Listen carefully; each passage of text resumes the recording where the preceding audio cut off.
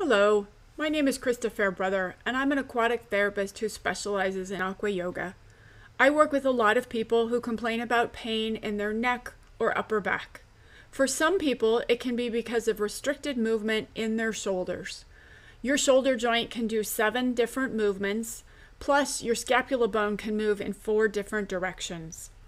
And where you position your head as you go about your life impacts this too.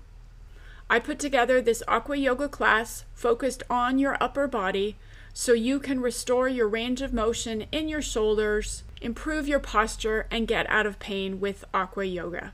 Purchase the waterproof practice class on my website, ChristaFairbrother.com. Thank you so much.